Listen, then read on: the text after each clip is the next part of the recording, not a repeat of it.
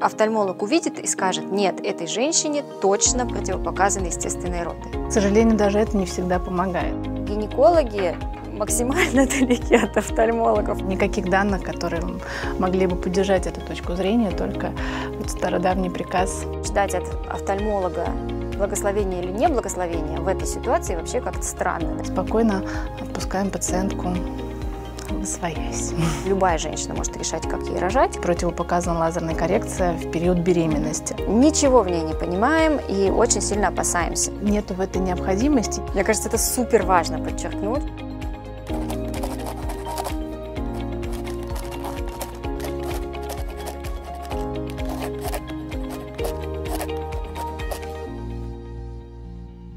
День, уважаемые коллеги! Сегодня мы будем обсуждать э, ситуации, в которых происходит взаимодействие между акушером-гинекологом и офтальмологом.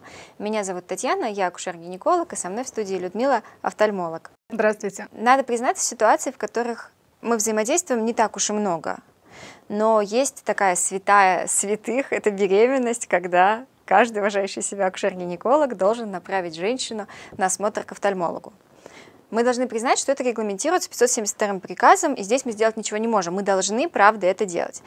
Людмила, скажите, с точки зрения офтальмолога, вам нужна каждая беременная женщина на осмотре? Активный офтальмологический скрининг беременных на самом деле не оправдан. Но а, мы подчиняемся тем законодательным документам, которые приняты в нашей стране, поэтому гинекологи направляют мы смотрим. Другой вопрос, чего ждут от нас гинекологи, направляя к офтальмологам. А, как-то так традиционно уже сложилось, что а, большинство гинекологов думают, что к ним должна беременная женщина вернуться от офтальмолога, как я называю, с благословением на естественное родоразрешение, либо с показанием на кесарево сечение. Ни один из существующих документов не обязывает на, нас, офтальмологов, разрешать или не допускать женщинам естественные роды. А можно я перебью? Документы — это полдела, но если мы говорим о реальных обоснованиях, вот есть ли ситуации, когда вы, мы направляем в первом триместре к вам женщину, есть ли реальные ситуации, в которых с первого триместра вы скажете, нет, точно, этой женщине не позволены естественные роды? Почти никогда нет. Ну, то есть я, например, за 10 лет своей практики ни одной женщине не дала какой-то запрет на естественное родоразрешение. Офтальмологических противопоказаний к естественному родоразрешению практически не бывает. И если мы возьмем а, ваши клинические рекомендации да, по а, ведению пациентов и а, проведению их а, тактики да, родовспоможения, то там из офтальмологических, кажется, будет звучать только осложненная миопия. Осложненная миопия, да. Близорукость.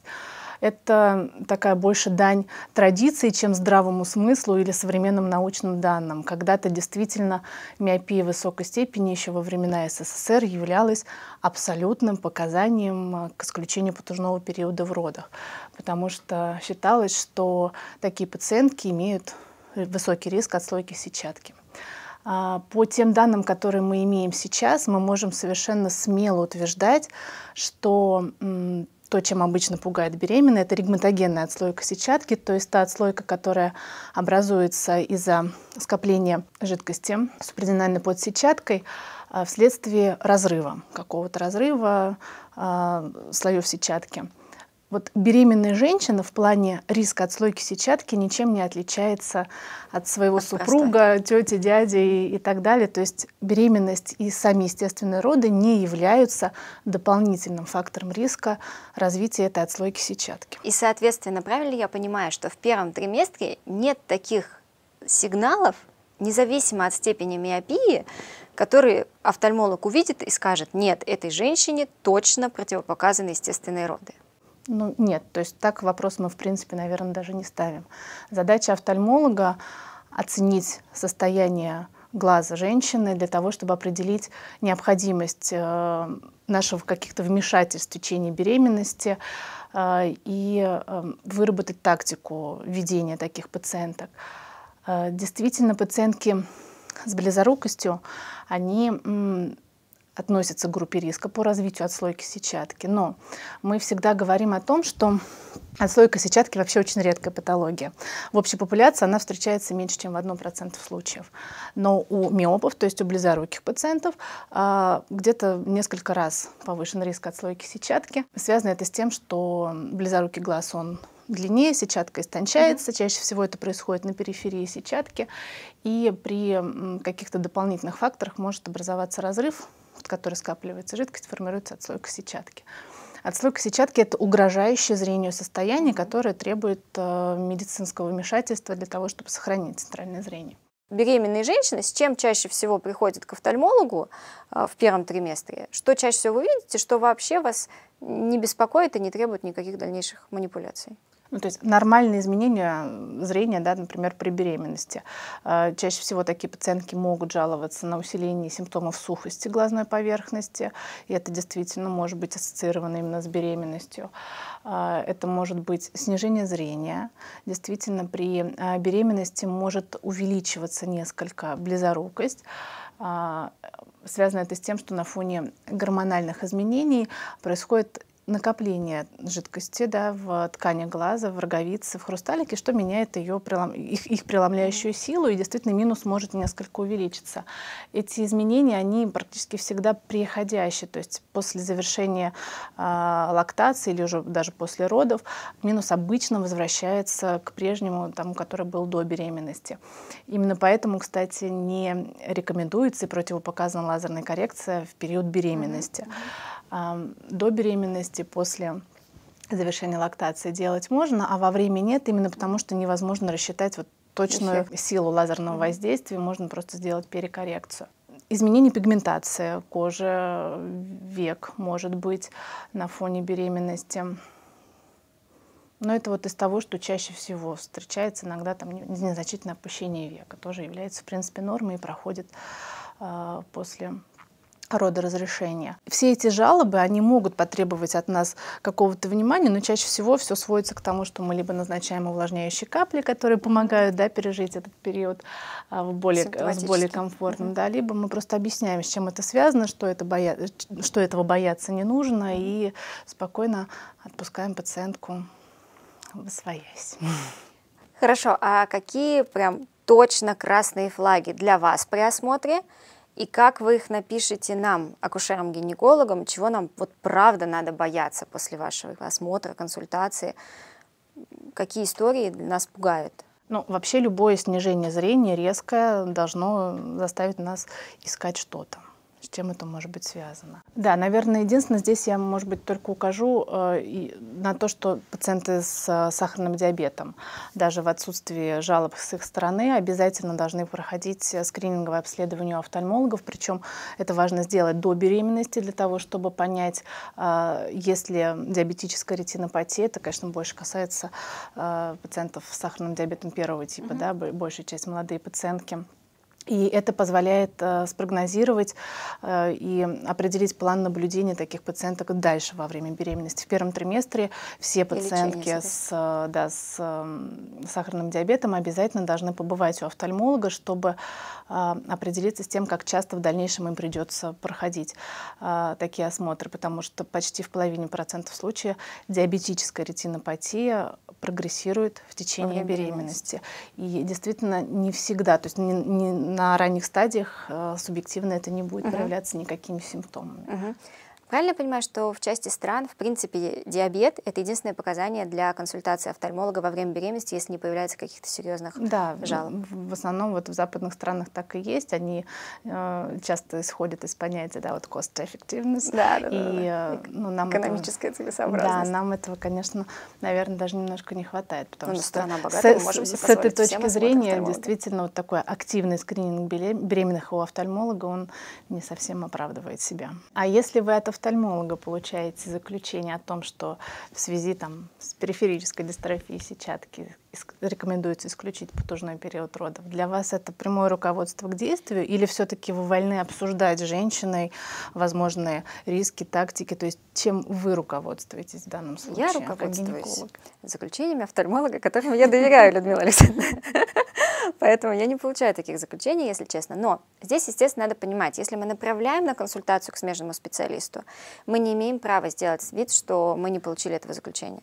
К тому же гинекологи максимально далеки от офтальмологов просто а, по телу, поэтому, конечно, мы боимся вашей патологии, конечно, мы ничего в ней не понимаем и очень сильно опасаемся. И пациентка читает ваше заключение, да, и, соответственно, пациентка тоже видит исключение потужного периода, может обозначать щипцы, вакуум, аспирацию плода. В общем-то, мало кто на берегу согласится Лучки на щипцы да? и вакуум, аспирацию. Естественно, все, ну, не естественно, но большинство если мы будем обсуждать щипцы, вакуум и кесарево, то 99% выберет кесарево, естественно. Для нас это э, не руководство к действию. Тактику родоразрешения выбирает акушер-гинеколог, и она может меняться, естественно, в процессе родов. А, но это повод задуматься. Именно потому, что мы максимально мало понимаем в вашем органе, для нас это максимально такая темная история.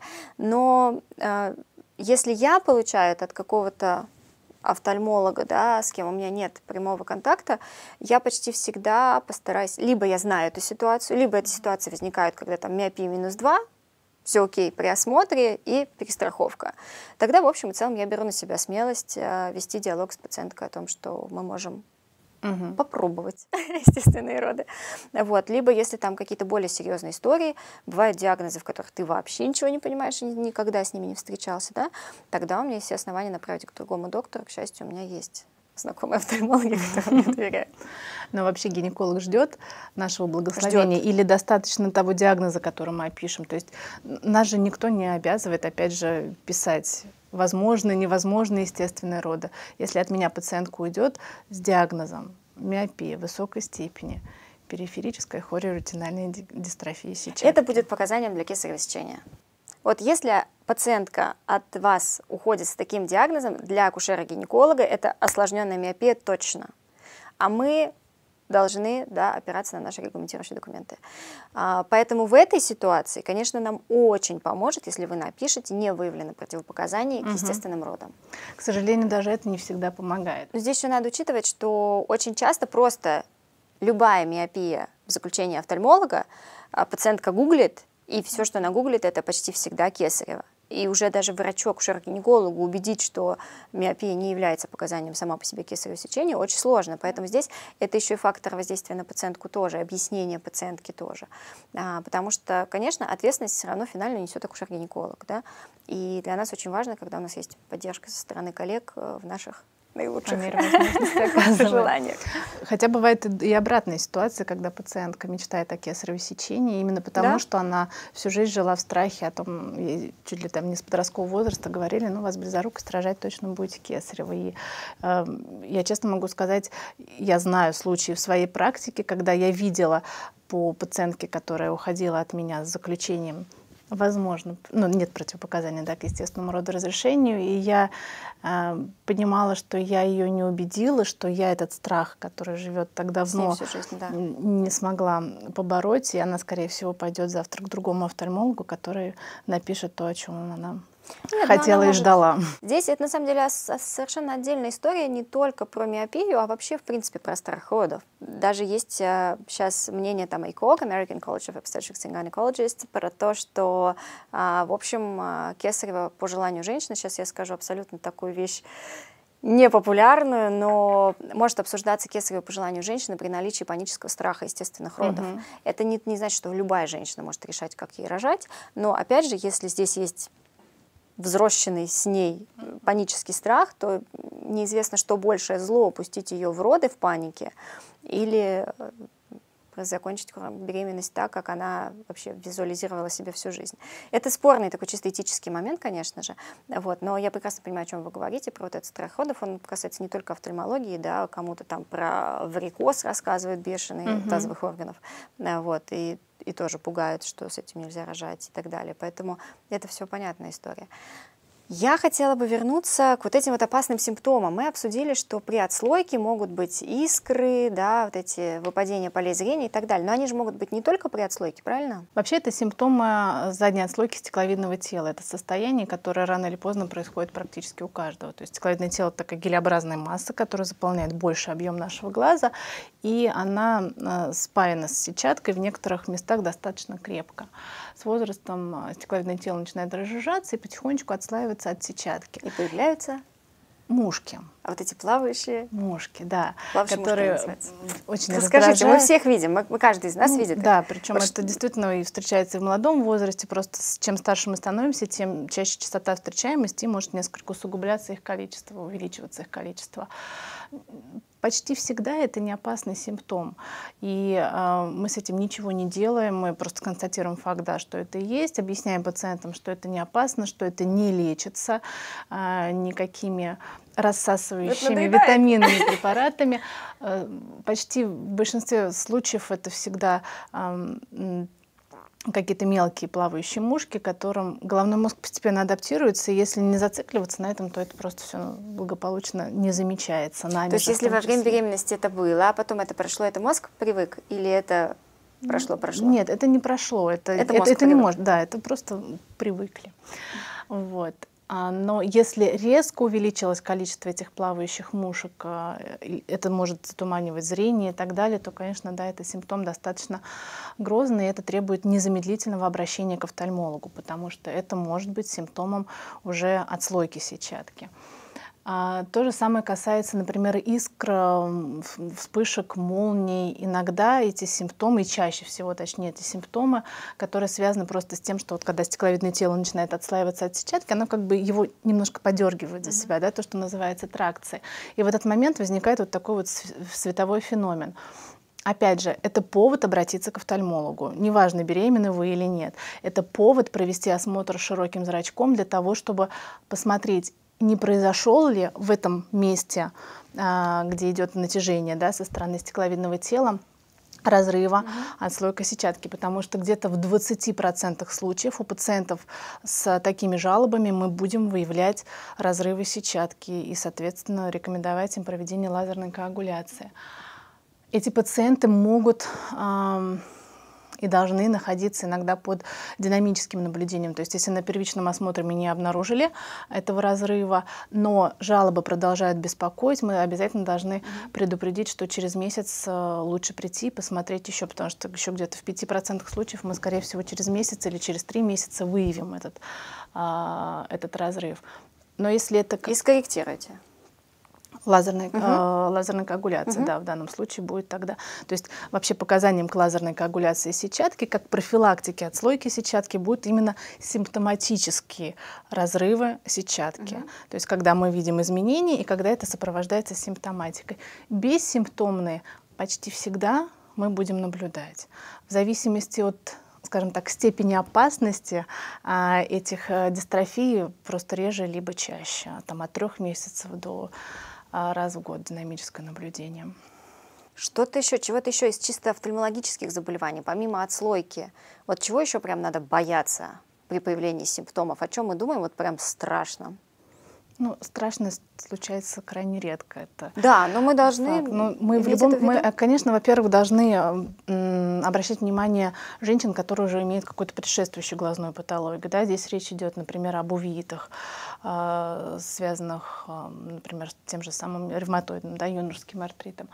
А, они могут э, как-то изменять свое течение на фоне беременности. Кстати, чаще всего они, наоборот, даже притихают. Угу. Да и могут быть, наоборот, обострения уже после. Гипертиреоз тоже должен обращать на себя внимание, он может усугубляться и потребовать активного вмешательства. Но ну, чаще, опять же, все-таки эндокринологов с нашей угу. стороны это чаще угу. просто констатация факта и динамическое ну, Вот я правильно понимаю, что при гипертиреозе, при развитии экзофтальма, в общем-то, офтальмолог мало что может скорректировать своими силами. Ну, по- по-разному. Зависит все-таки, мы даже здесь больше боимся не самого экзофтальма, а больше компрессионной оптической нейропатии, да, то есть когда mm-hmm. уже увеличенная э, структура орбиты будут сдавливать зрительный нерв, это может приводить к резкому снижению зрения, там уже требуется активное вмешательство. Но опять же, мы говорим резкое снижение зрения, да, да это, даст, это всегда... Это все истории, которые мы очень пристально наблюдаем, это не то, что какая-то там случайно возникшая патология.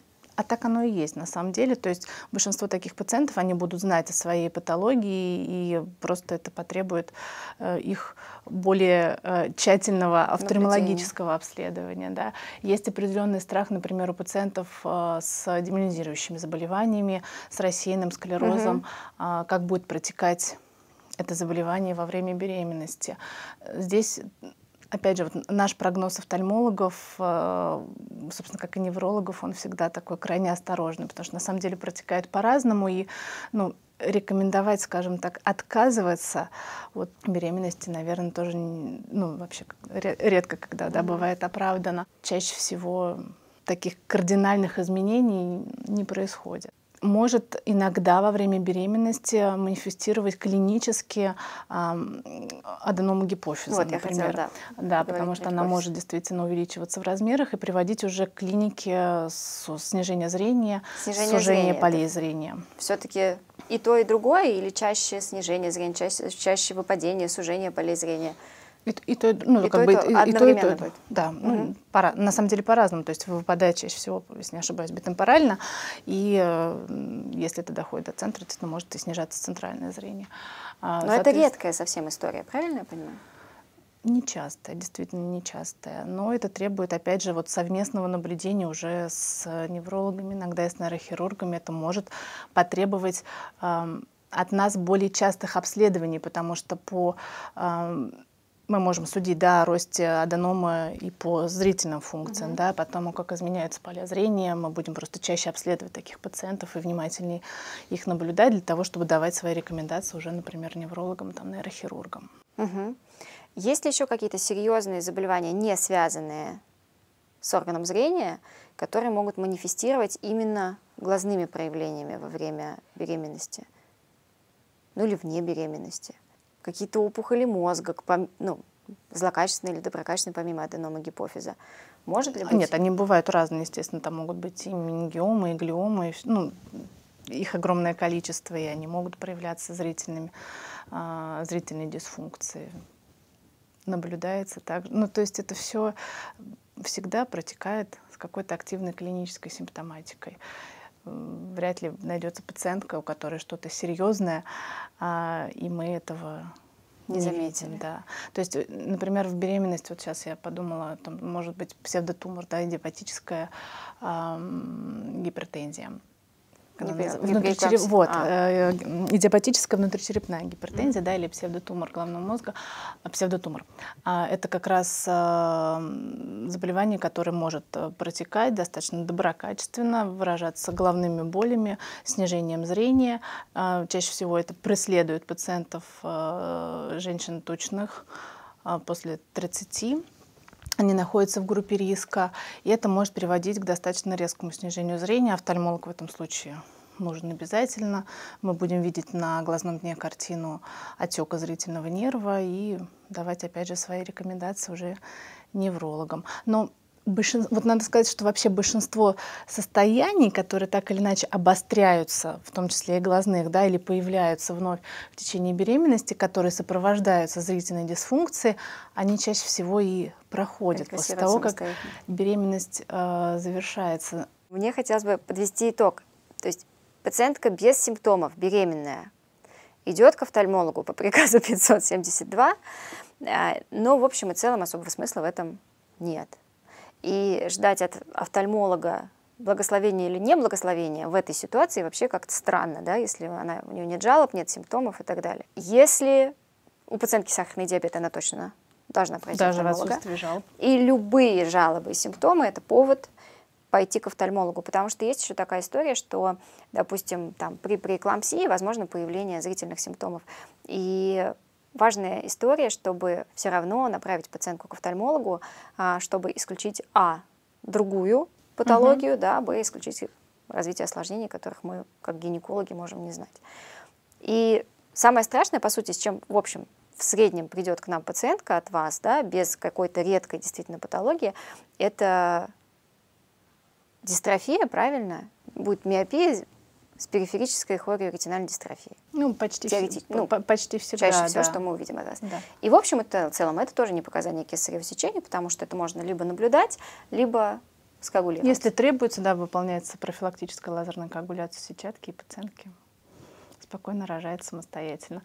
Пациентки с высокой близорукостью, минус 13, минус 15, даже минус 20, я давала свое благословение, естественно, роды, и все протекало благополучно. Мне кажется, это супер важно подчеркнуть, что сама по себе миопия никакая, ни минус 9, ни минус 13 не является показанием кесарево сечения вот здесь и сейчас сходу, правильно? Да, да, у нас нет никаких данных, которые могли бы поддержать эту точку зрения, только вот стародавний приказ времен СССР, когда тогда, видимо, должны были этому подчиняться. У нас сейчас в этом отношении руки совершенно не связаны. И мы можем адекватно оценивать ситуацию и разъяснять возможные риски от кесарево сечения, насколько я знаю, они даже больше, чем от естественных родов для здоровья и женщины, и малыша. Генерально да, но опять же это сейчас вызовет протесты, это всегда тема такая очень, очень острая. А, но в общем и целом мы должны, конечно, руководствоваться здравым смыслом, результатами исследований и так далее. Вот совсем не коснулись темы а, чисто такой глазной, но которая тоже требует внимания обязательно. Это пациенты с глаукомой, допустим. Она бывает в том числе и ювенильной, то есть встречается у молодых, и они обязательно также, вот если мы говорим, например, о пациентах с сахарным диабетом, здесь тоже важно, чтобы они были, а, проходили осмотр офтальмолога, но это, как правило, не является каким-то исключением, потому что эти пациентки наблюдаются регулярно да, офтальмолога. Беременная, не беременная, она должна прийти к Да, поэтому от нас, конечно, это тоже требует определенного внимания и участия в мероприятиях по снижению внутриглазного давления. Сама по себе беременность, она может э, почти всегда сказывается благоприятно на внутриглазном давлении, то есть снижается, происходит физиологическое снижение. То есть это единственная ситуация, когда офтальмолог может сказать, вам бы беременеть, мелочка, побыстрее, если никак не можем справиться. Вот, и э, иногда приходится просто предварительно готовиться к беременности офтальмологом.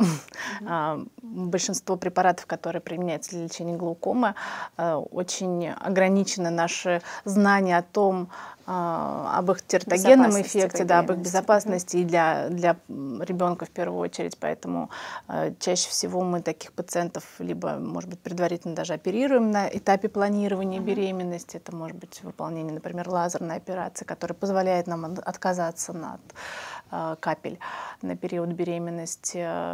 Либо, если это какие-то начальные изменения, то мы иногда можем в беременность позволить себе отменить какое-либо медикаментозное лечение, а, зная о том, что давление само по себе да, может снизиться. И вот тут тоже возникают некоторые споры у пациенток, э, можно ли их пускать, опять же, в естественные роды, не может ли э, потужной период родов привести к какому-то резкому подъему внутриглазного давления. И вот убедительных данных, что это может произойти и значимо скажется на состоянии зрительных функций, у нас тоже нету.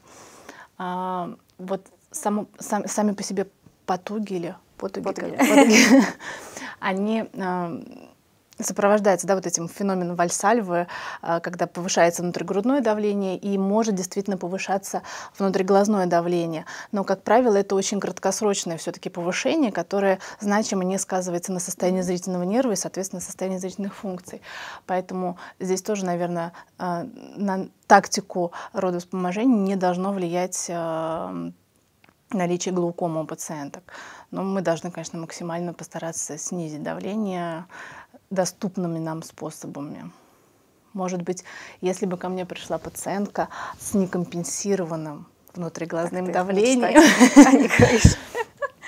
вот-вот, который там сегодня-завтра родит, возможно, в этом случае я бы написала некоторые предостережения да, для гинекологов, хотя оно вот больше ну, основ... оно, оно, да, оно основывается больше вот на наших каких-то страхах, неуверенности, что все может быть хорошо. Но с другой стороны и обратных доказательств у нас нет, что нам нет, нужно ну этого и знаний бояться. у нас нет, потому что у нас нет, мы не можем собрать статистику по пациентке, да. которая всю жизнь жила с глаукомой и во время беременности ни разу никому не показалась, и тут раз и решила таки прийти к офтальмологу зачем-то перед родами. Поэтому да, это чаще все-таки Понятно, что мы не знаем, мы реально не знаем, что с ними, mm-hmm. как с ними, я так понимаю. Ну что, мне кажется, мы беременных обсудили вдоль и поперек. Почти. Почти. Есть же еще серозная отслойка сетчатки. Вот про нее-то я и забыла. Да. Это как раз те случаи, когда вам будут рассказывать офтальмологи, что а вот в нашем в нашей больнице случилась отслойка сетчатки либо в родах, либо предварительно, так. а вы говорите, что не нужно бояться.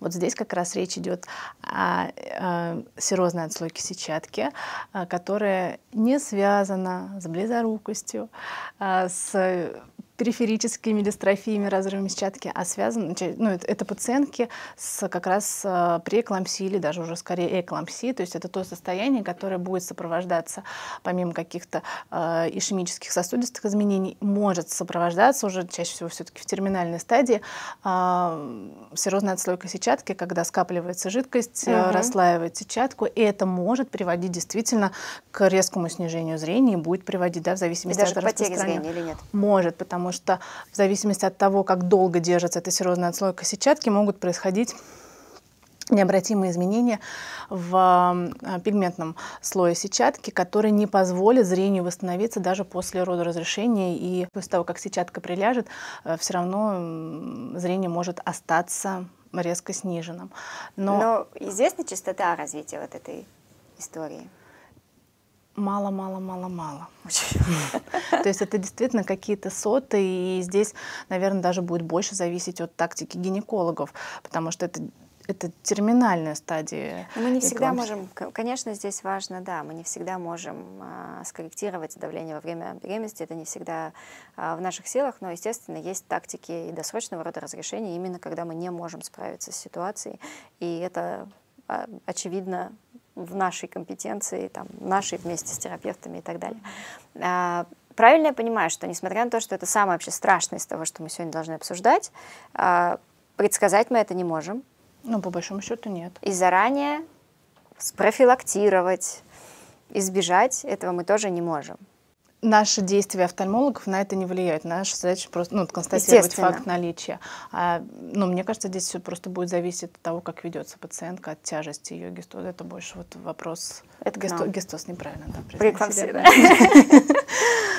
а, ну, в общем, это к нам, видите, да, старайтесь вести корректно пациентка с преэклампсией. Хочется сделать акцент, опять же, да, вот об этом показании к кесаревому сечению, да, относительно, по-моему, она там называется, как осложненная миопия. Угу. То есть, допустим, отслойка сетчатки на одном из глаз, успешно оперированная, например, до э, беременности даже еще не должна являться таким показанием. Да.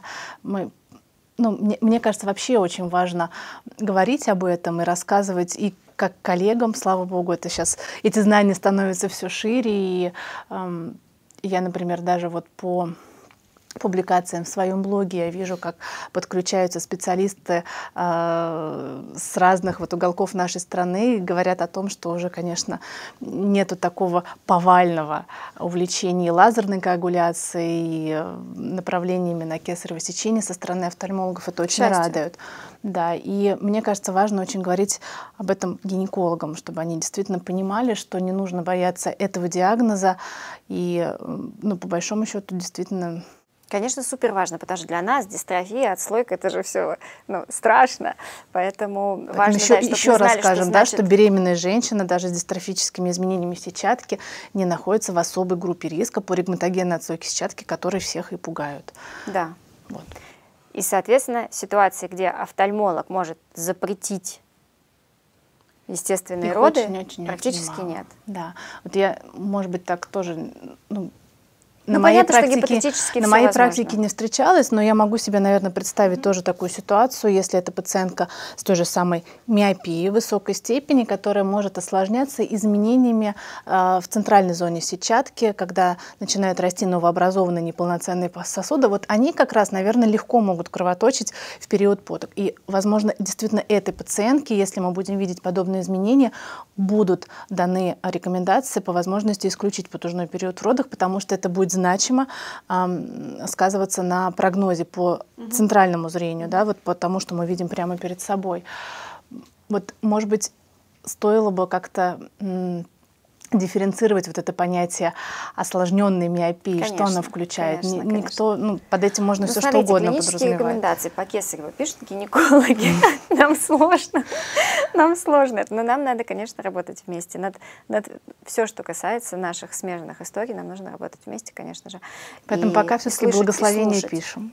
Я так поняла нам будет так и спокойнее. Ну, некоторые такие Даже... ярые адепты evidence-based medicine э, говорят о том, что если от вас э, гинеколог требует э, заключения офтальмолога от тактики родов, бегите от этого гинеколога. Но мне кажется, это несправедливо, в первую очередь, по отношению к беременной женщине. Это наша с вами это наша с вами а, коммуникация. Да. Бесспорно, и... если мы общаемся постоянно, и мы знаем, что под каждым из ваших диагнозов вообще лежит и что это означает, угу. тогда да, я больше чем уверена, что офтальмологи 80% наших диагнозов понятия не имеют, о чем это. Поэтому вы должны иметь в виду, что 80% ваших диагнозов мы тоже себе слабо представляем.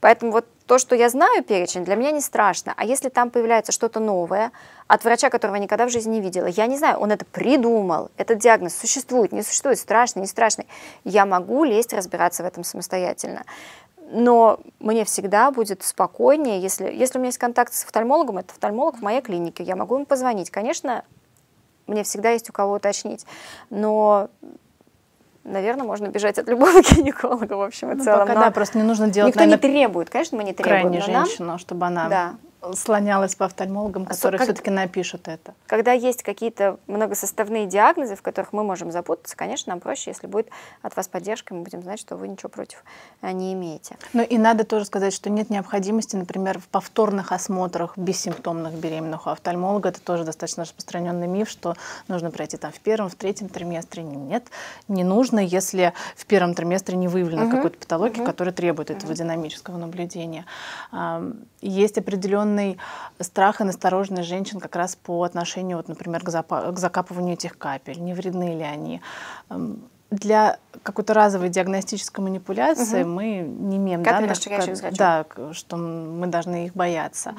Вот как раз повторные э, вмешать повторные да, диагностические процедуры с расширением зрачка, они потенциально, может быть, могут обладать каким-то эффектом, поэтому э, нету в этой необходимости, mm-hmm. нет, это нецелесообразно, и, ну, так, конечно, в крайний случай это может быть просто опасно по итогу, может быть, мы не знаем.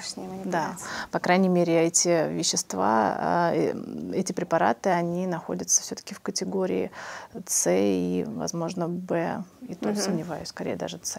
Мы не уверены в их безопасности. Да, да. Ну что, мы обсудили мне кажется, очень много от того, что касается зрения и беременности. Наверное, мы подытожим то, что, что мы могли вынести из этого диалога, а, если говорить про гинекологов. А, да, по приказу мы направляем к офтальмологу, но не надо для каждой женщины ждать от офтальмолога каких-то великих открытий. Б, не забываем при любых зрительных симптомах, при любых нарушениях отправлять к офтальмологу. В, супер редко офтальмолог может как-то повлиять на нашу тактику родоразрешения. И если какие-то слова и диагнозы вам непонятны, проконтактируйте с офтальмологом и вообще спросите, что это значит, и надо ли на это обращать внимание, и вообще как-то дальше эту пациентку вести, наблюдать, лечить и так далее. Но генерально идея такова, что вот самое главное, мне кажется, что мы выносим для гинекологов, что вообще не обязательно, что миопия – это повод думать о кесаревом сечении. В 99, наверное, и 9% да. случаев это не так. Верно? Да, совершенно верно. И это бывает сложно принять, потому что традиции сильны в нашей стране. Я могу, ну, даже про себя, например, сказать, что на, когда я только начинала, да, как офтальмолог, я расширяла каждую беременную, я везде искала дистрофию сетчатки. Если мне что-то не нравилось, я обязательно направляла к лазерному хирургу. Слава богу, что сейчас накапливается определенный объем знаний, который позволяет нам быть увереннее, смелее в тех рекомендациях, которые мы даем. И позволяет объяснять пациенткам, чего нужно бояться чаще всего, что ничего не нужно да. бояться. Чаще сложно успокоить, да. чем Да, да, то есть накрутить. наша основная задача действительно это объяснить, что происходит, чем это чревато и как мы должны это наблюдать. Мне кажется, это важно действительно об этом говорить, и чем больше и офтальмологов, и гинекологов будут знать о том, что миопия высокой степени не равно кесарево сечение, перестанут пугать пациенток э, подобным исходом да, беременности, и уж тем более настаивать на этом, когда для этого нет никаких показаний то тем проще будет нам всем, и счастливее будут наши женщины, в головах которых не будет вот этих лишних и необоснованных страхов. Да, еще же очень важно, что мы избежим повторных кесаревых. Очень часто показанием кесарева является первая кесарева, а первая кесарева, потому что миопия. Да. И это тоже мы избежим. Ну что, мне кажется, что это было супер продуктивно и супер важно. Спасибо большое, Людмила, за то, что ответили на наши вопросы как акушеров-гинекологов. И спасибо, коллеги. Я надеюсь, что наш разговор был полезен. Спасибо, что были с нами на Первом медицинском канале. Мне кажется, это было очень продуктивно. И приятно. И приятно.